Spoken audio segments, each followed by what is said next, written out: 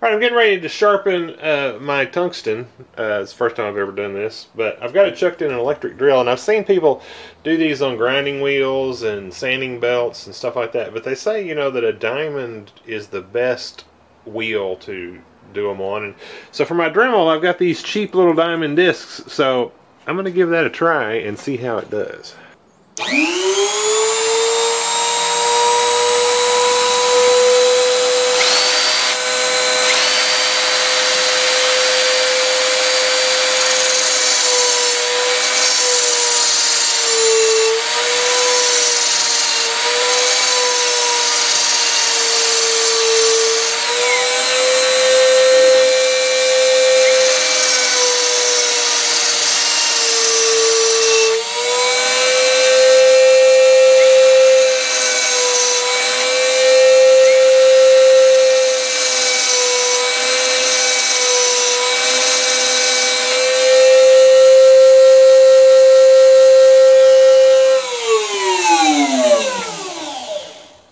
Alright, well that seemed to do really well, I think.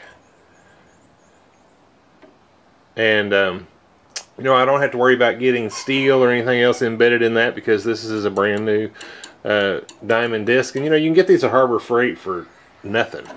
I've had, I got about 10 of them that I bought several years ago, and I think I paid like $2 for them or something like that. So, all right, hope you enjoyed the video. Thank you for watching.